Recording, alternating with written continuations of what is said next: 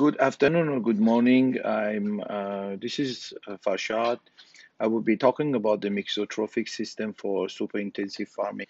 Okay, we're talking about shrimp. So shrimp is very simple. We all know what is the shrimp, but what we are trying to do as a farmer, we always try to increase the carrying capacity of the uh, wherever wherever and whatever operation we have. So basically, there is a potential to increase our carrying capacity and always there is a environmental resistance that stop this going up. And there is always uh, you know way to increase this. So we have to look at what are the factors that can help us to improve and increase our carrying capacity. So to know that we need to look at the shrimp culture system. Shrimp culture system is very simple. We have a water and land we have shrimp we have feed and we have surrounding environment. So if you want to make it even more some simpler, you have a water, which we need the quality and supply. You have a shrimp, you need the quality and supply. You need a feed, which you need the quality and supply. Disease play very important role here. They are the major challenges. So we have, uh, to me, disease are not only infectious. We have nutritional disease, we have environment, and also genetic. And uh, water quality and soil bottom management is always very important if you are operating in a earth pond or even like plastic line pond or even you know indoor. Always bacteria, phytoplankton, mineral, and feed management play very very important role. Uh, when you look at all the water parameter, water and soil parameter, there are many many parameters that we can really really long. We can write a very long list. But when you look, these are some of the very common and among them, I think uh, I will be mentioning about three or four of them that we are, are very most important. So oxygen, it's become one of the key factor, which is the really the first factor to improve the carrying capacity. So oxygen involved in many uh, activity inside the pond from oxy they oxidation up to the you know uh, produced by phytoplankton consumed by phytoplankton you know by bacteria. So most of the you know the life uh, living organism inside the pond they consume and they need oxygen. And uh, oxidization is very very important inside the pond. And you can see uh, we have like ammonia we have hydrogen sulfide. These are all you know will be affected by the oxygen level. So oxygen requirement in a normal outdoor farm uh, it goes by the fcr so you have a higher fcr definitely you have a higher requirement of oxygen. And also that one also it will be really uh, considered the higher FCR, more feed use, and you have a, a more uh, BOD in the system. Okay, so then uh, you have uh, the aeration system is the common way in many of the outdoor farm people use for increasing the oxygen, and the number of the aerator and the uh, the energy requirement also is very much dependent on the daily feed and the biomass you have. So we have always a arrangement of the aerators. So these are like very common. So what we do in Asia, we have a different uh, way of arranging these aerators. So we use different uh, horsepower, we use a different, you know, RPM and different location. So these aerators uh, are, you know, can be, we call it long arm or it can be a small one. So usually long arm aerator, they are more efficient and they are more useful in our industry especially in Asia. I, I personally like the long arm one for the big ponds. So uh, I call it like aeration management. And then uh, you can see here like some of the arrangement we have with the aerators. There are different different type, and uh, you know they are very very important. Then the next factor is all this uh, among all the parameters is a nitrogen cycle among all the cycles, mineral cycles that we have nitrogen cycle, uh, which contain nitrification.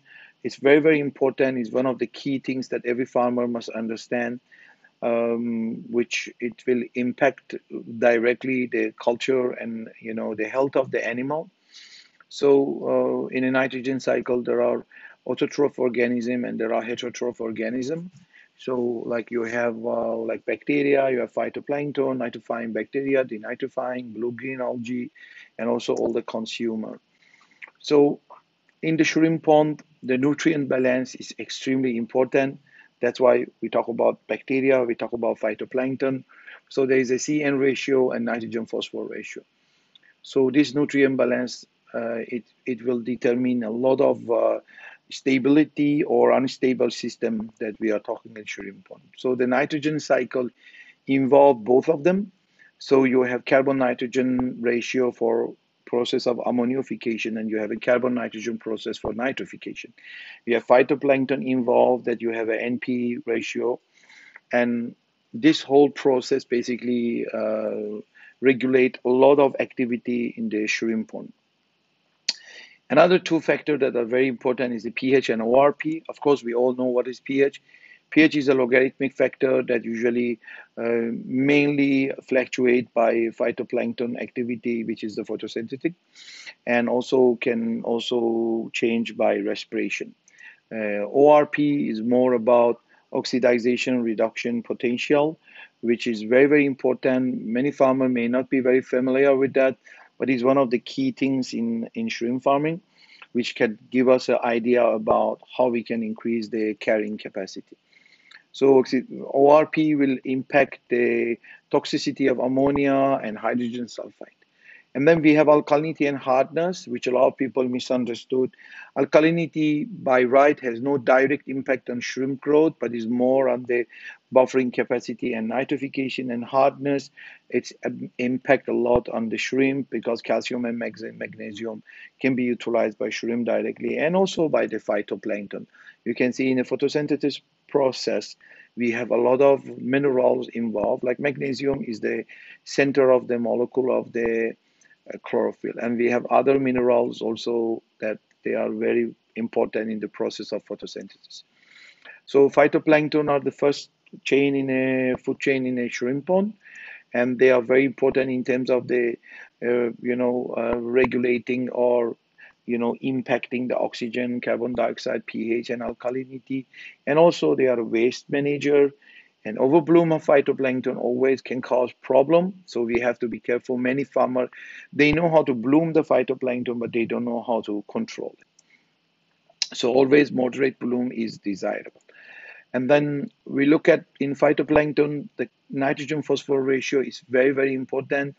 Common ratio, we call it Redfield ratio inside the ocean is 16, which is usually apply in any seawater. But for the shrimp pond, we have different, different, uh, you know, sec, I mean, category for the phytoplankton based on the nitrogen phosphorus ratio.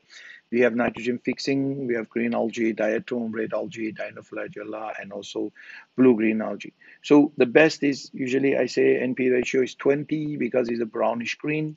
And then uh, minerals, as I say, they, they play very important role in the whole system of the mixotrophic and shrimp pond. We apply in Asia a lot of magnesium, calcium, potassium, and also the ratio of them is very, very important. So bioavailability of iron are very important for shrimp. Shrimp can can consume them and utilize them through a different way. Then when we come to the you know, looking at the, this mixotrophic system and microorganism classification. I put like a layman terms here, shrimp, phytoplankton, bacteria, and also fish and feed waste. So when you look at the all this, you can have different, different heterotroph, autotroph, heterotroph, autotroph, heterotroph. So it's a very complex environment we have. That's it for the bacteria. So all of them the phytoplankton management and pH management always come together and you have probiotic application. So these are all the component of the important factor that impact mixotrophic system. So in the reality, mixotrophic system is the environmental modulation, which involve in pH, ORP, carbon nitrogen ratio for organic and inorganic carbon, nitrogen phosphorus, nutrient, energy, probiotic, and uh, phytoplankton. So this is the whole complex we have. It's very, very important. We have to understand this, how this one impact the shrimp farm. So you can see this is the stages of the mixotrophic system. We have three stages. So if I divide the, how the, the whole DOC of 100 over days in three parts, the first phase is going to be the phytoplanktonic phase, which is involved on phytoplankton bloom, pH, nitrogen phosphorus ratio. This is the age that we have a small animal. So these animals are required to you know, having a very good environment. They need to be protected from the sunlight, UV. So we need a very good bloom of phytoplankton. But when we move towards the middle of the culture, we can reduce the phytoplankton and increase the bacteria in the system, which I call it phytoplanktonic probiotic phase, which is pH, carbon, nitrogen, ORP are very, very important.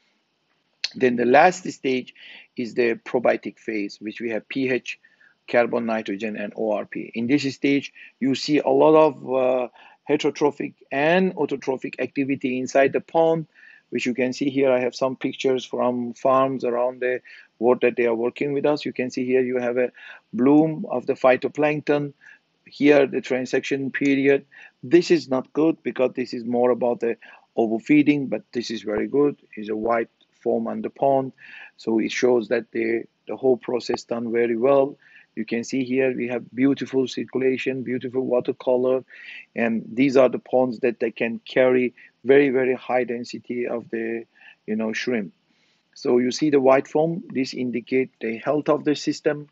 This is the color of the good uh, probiotic stage. So sometimes people ask, is mixotrophic and bioflocs are same? I can tell you definitely they are not same. Biofloc can be a part of the mixotrophic system, but mixotrophic system, which I have patented, is much much more bigger and larger, you know, view of the shrimp farming. And when we look at the paddle wheel, you can see the paddle wheels are very good indicator in terms of the farming and understanding the outdoor farm. So by looking at the color, form, and the algae, you will understand. So the benefit of mixotrophic system very simple. You can have definitely higher stocking density. In my indoor farm, we can do up to 2,500 piece per square meter. Outdoor, we can push up to 500. There is a definitely greater biosecurity, controlling of the uh, pathogenic bacteria. You can have very stable phytoplankton bloom, stable pH, ORP, and very close to the zero water exchange. And of course, zero application of a lime, dolomite, zeolite, which I don't believe any one of them. So thank you very much. I hope you enjoyed my presentation. If you have any question or any, uh, you know, inquiry, please write to the email address that you see here. I'll be very happy to answer. Thank you and have a great day.